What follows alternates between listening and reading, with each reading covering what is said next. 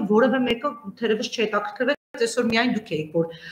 հարց 1 էտի չես գրել այդ Մայքլ Արամի մասով ուրեմն իհարկե ինքը անգլերենով է շարադրել ես թարգմանել է ինձ մոտ տեղադրել է նշում է որ ինձ համար պատիվ է Մայքլ Արամն է նշում որ Հայաստանի նախագահը որոշել է Եղիսաբեթ Թագուհուն պետական նվեր անել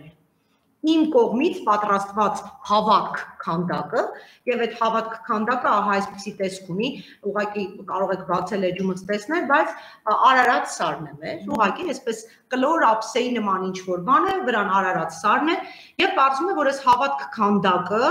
Մայքլ Արամին բնականաբար պատվիրել է Հայաստանի Հանրապետությունը հա սա պետական մակարդակի ընծա է որպես հանդիսանում որ պետք է տրվի Եղիսաբեթ երկրորդին ի պատիվ թագուհու Պլատինե Հոբելյանի։ Սա Մայքլ Արամն է տեղեկացնում եւ ինչու եմ անդրադարձել սրան։ Սա իրականում իր հետ ունի ենթատեքստեր։ Ես կուզեի սա անինել, որ այս մասով մենք նաեւ կքննարկենք։ Մայքլ Արամը այն արվեստագետն է, որը որևէ ֆինանսական համբավի եւ այլնի խնդիր չունի մանավանդ որ հանդիսանում է LGBT համայնքի կարկառուն ներկայացուցիչ իսկ դուք գիտեք թե արևմուտքը ինչպիսի մեծ նախապատվություն է տալիս LGBT համայնքի ներկայացուցիչներին եւ դա նույնպես իրենց համար այդ համայնքի ներկայացուցիչ լինելը հանդիսանում է մեծ խթան, որ իրենց այսպես ավելի շատ գովազդեն PR-են, հա։ Մայքլ Արամը ամուսնացած է հայ տղամարդու հետ եւ անուն ազգանունն էլ ես կարող եմ ասել հայ տղամարդու հետ եւ ապրում է եւ ապրում է Նյու Յորքում, այո, եւ Այո, Արետ Արետ Տիկիրյանի հետ եւ նույնիսկ Որթեգրած զավակներ ունի, մեկ տղա եւ մեկ աղջիկ։ Իսեր աստծո իր կյանքն է ինչ ուզում է թող լինի, բայց այստեղ ինձ համար շատ կարեւոր է թե Հայաստանը Էլիզաբեթ երկրորդ թագուհուն ինչ որ Արարատ Սարի պատկեր նվիրելու համար ինչու պետքա գնա եւ Մայքլ Արամից այդ ամեն ինչը պատվիրի, Մայքլ Արամին վճարի վստահ եմ հսկայական հսկայական գումարներ այն պարագայում, որ ասենք Մայքլ Արամը չի էլի, որ աշխարհում Հայաստանն է ներկայացնում կամ հայ արվեստի ռահվիրանն է էլի համարվում։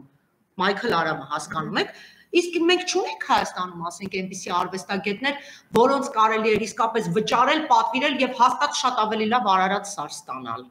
Եվ դրա մասին որևէ ինֆորմացիայով մենք ոչինչ չենք տեսել եւ չենք լսել։ Որևէ massական ինֆորմացիոն մեդիաների միջոցով նախագահի ապարատը ես չեմ հանդիպել, որ ես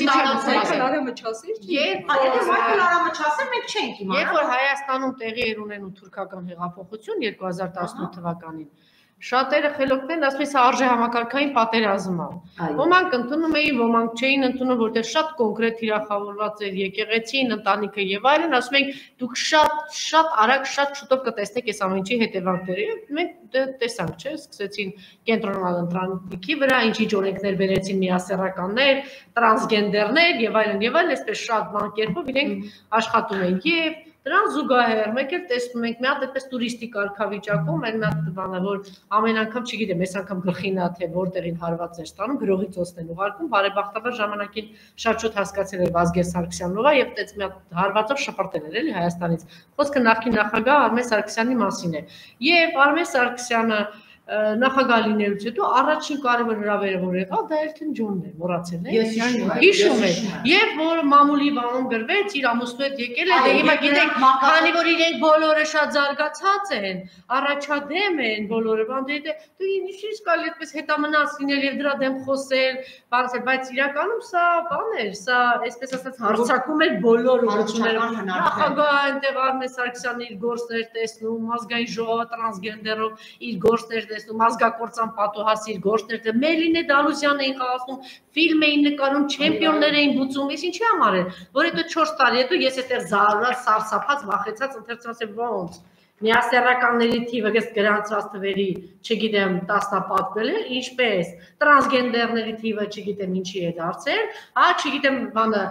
արդեն դիմում են ոստիկանություն տղաները, տղաները ամուսնանալու, երեխա ворթեգրելու, այս էս իրավունքները։ Այսինքն այս ամբողջը մի համապատկերի մեջ է։ Հիմա մենք հարց ենք տալի, «Ա ինչու է նախագահը, ասենք, մի հատ, չգիտեմ, ինչի կարգավիճակում մեկը նստած այնտեղ, որոշել, որ ինչու, որովհետև այս մարդը այս նույն մեծ համայնքի Այո, ինչու՞ որտեղ իր ամուսինն է Մայքլ Արամն ապրում է Նյու Յորքում, իր ամուսին Արետ Տիկիրյանի հետ եւ երկու զավակ եմ որտեղ այսինքն սա որպես նորմ, որպես օրինաչափություն, ոնց ու տեսեք, իր ինքը կան բացառիկ է, իր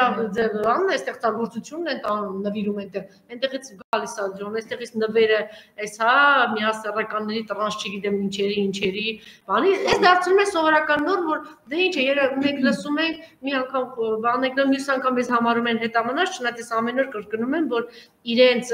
զարգացածության աշխարհն մակարդակը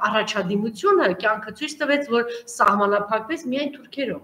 Հետադեմ,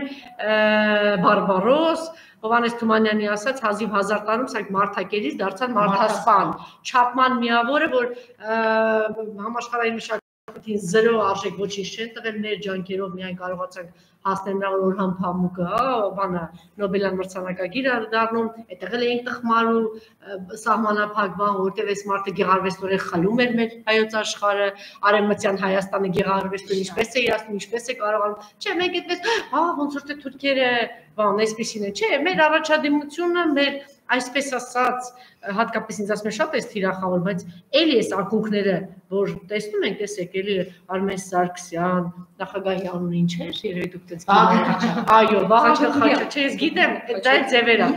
Էլի տեսնում եք ակունքները այդտեղից էր եւ պատահական չի, որ որոշել են այս մարդու նվերը պիտի ուղարկեն այնտեղից, դե այնտեղ թող բան այդ տիկին է դա։ Այսինքն դուրս է գալիս, որ Մայքլ Արամը այն մեր միակ եւ աննման մշակույթի կարգավորումն դուրս է գալիս, որ սա ընդհանուր ոչ, ռիփսիվեր դուրս է գալիս, որ մենք դեռ այդ ծրագիրը շարունակում է սահուն կերպով գործել մեր իրականության մեջ եւ այս ամեն ինչը մի մեծ իս ըստ իրենց օրինաչափության մեջ է, այսպես պիտի իրենք ցը պիտի լինի